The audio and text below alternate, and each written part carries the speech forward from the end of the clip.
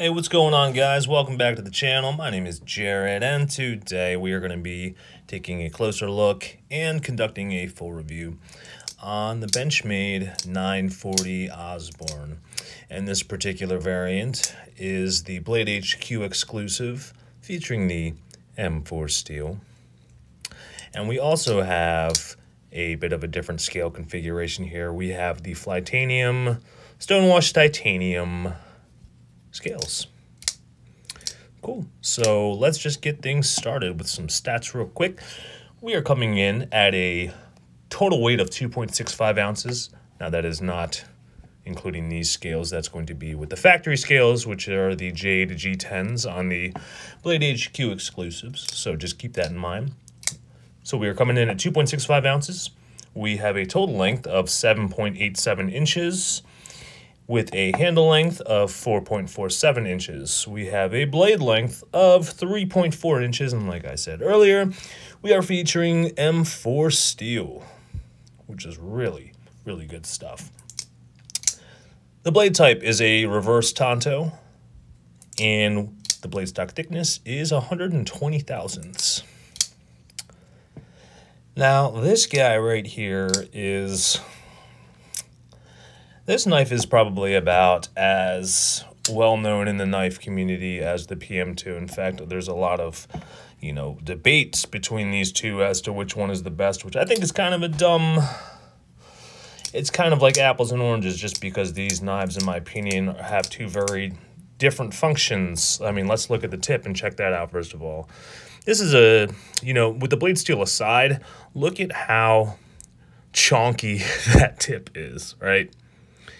Now let's add the fact that this is M4. I could probably shove this into, I don't know, like some really hard wood. Oh God, that sounds awful. And then twist it. And I don't think I would really get that much tip damage. I mean, and I think I'm really glad that they decided to make this variant in um, in M4, or they decided to release a 940 in the M4 blade steel, just because I think that it's um, I think that it's a steel that matches this platform very very well. So this is kind of regarded um, in the community as like a very hard use worker's knife. And you can definitely see why. Just I mean the just in the G, the blade geometry.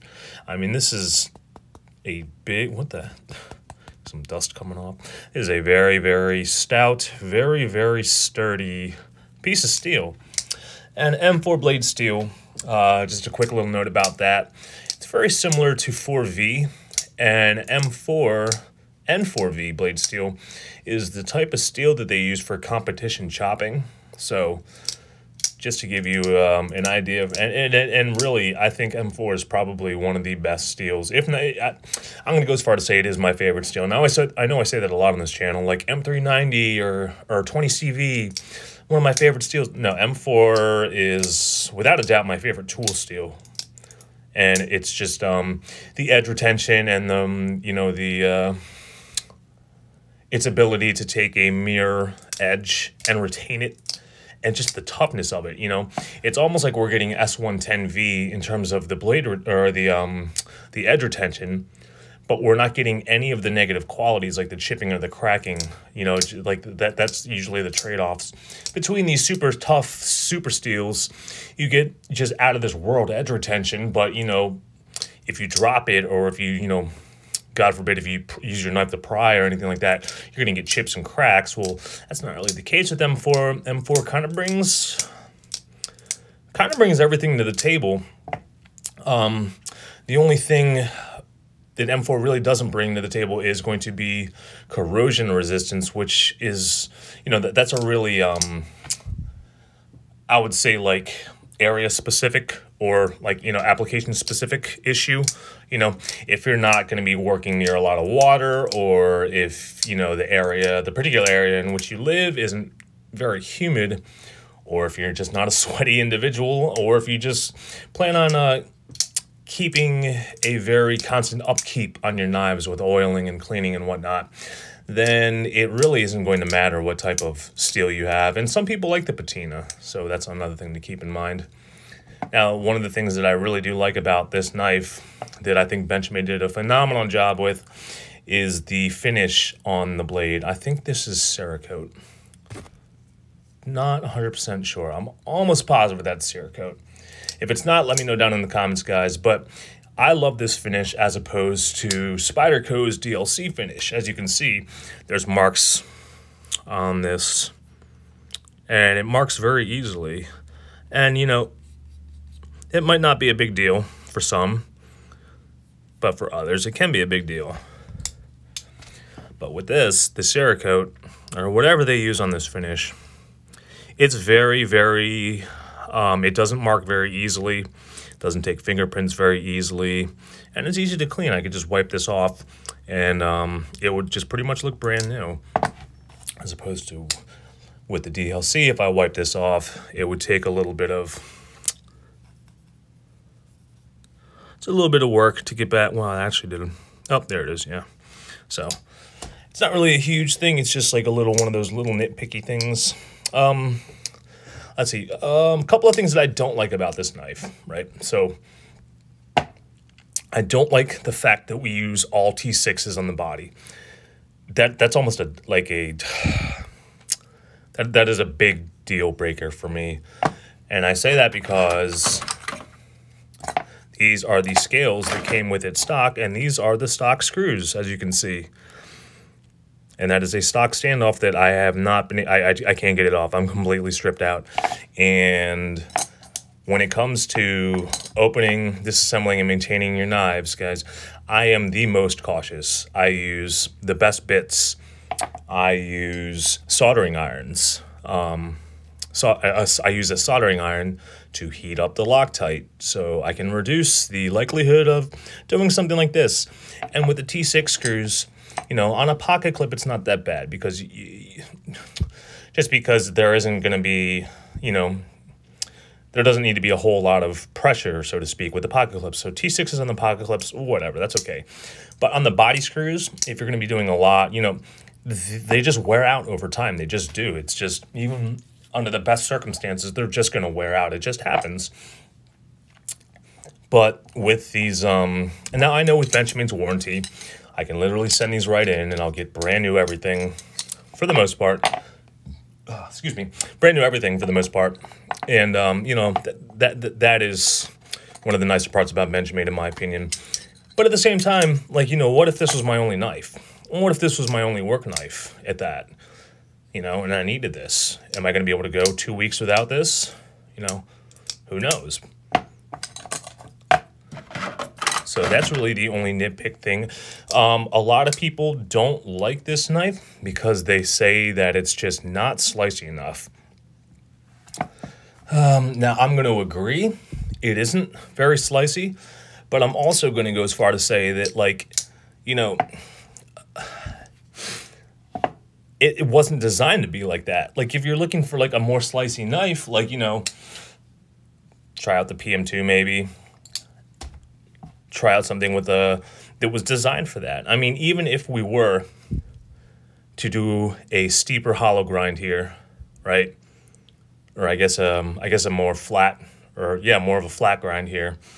Um it still wouldn't be very slicey just because of the blade geometry. Like if you just look at the blade geometry in this, it's very plain Jane. It's very simple and straightforward. It's, look how large, look at the percentage of the knife that is just a flat edge, right? This knife is not meant to be slicey. It, it just, it just isn't. Now it could be, like, you know, I have seen 940s that have been reground. They look good. They look good. They do. But I you know I I have my, like a lot of reservations about people that say, oh the PM2 sucks because it can't do this or the 940 sucks because it can't do that. And in my mind, I'm like, okay, like you know, use the right tool for the job. Okay, like just because a knife, just because this knife has a thicker blade stock and the thickness behind the edge is not, you know, very um, inducive for you know, slicing and whatnot, doesn't mean that it's going to be incapable of doing certain slicing and like push cuts and things like that. It just means that it's not going to be as slicey as, say, I don't know, something that has like a very like thin blade stock thickness like this. Like I think we have 98 thousandths of an inch with this. And, you know, the blade geometry is much different. There's more of a belly, which inherently is going to be a better shape for slicing. But all in all, I um, I really do like this knife. Um, it's the only Benchmade that I have.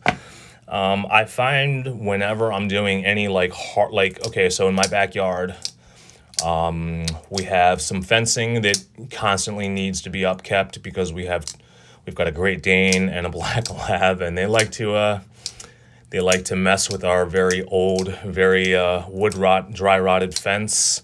So, uh, you know, a lot of times I'm like prying out staples or I'm actually like, you know, just, I'm, I'm just this is the knife that I use if I know I'm going to be doing any type of construction or any type of like, if I don't know what I'm going to be getting myself into, but I know I'm going to be needing a knife, I usually bring this because this pretty much has me covered. And another thing I also like about this knife is the carry profile. And again, I'm going to be using the PM2 as a comparison because these are the, you know, if you were to take a poll, what are the two most, you know, the two gold standards for EDC carries. Majority wise, you're going to get the PM2 and the 940.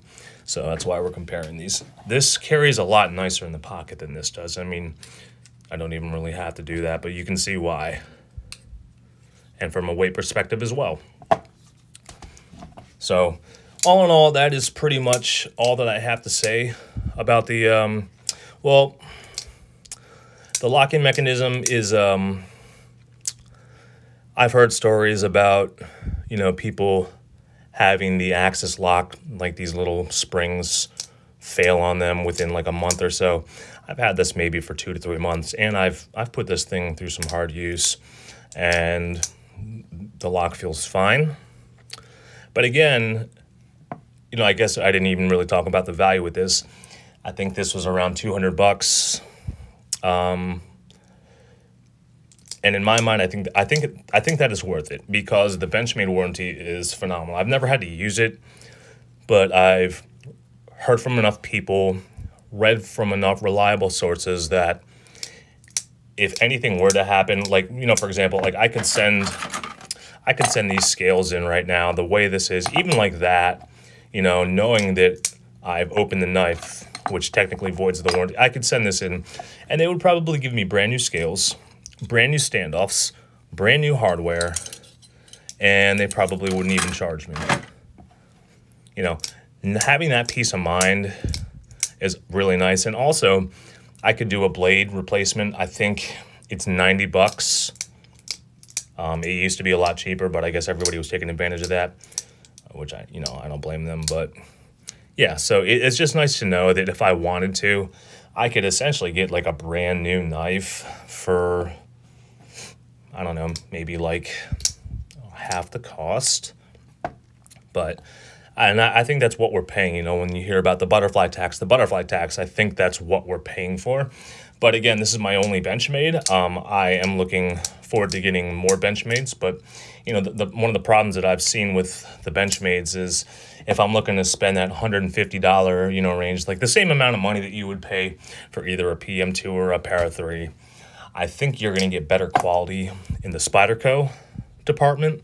Now, when we approach like the 200, 250 mark, um, that's kind of in the range of the features that I would look for in terms of what Benchmade would offer at that entry point.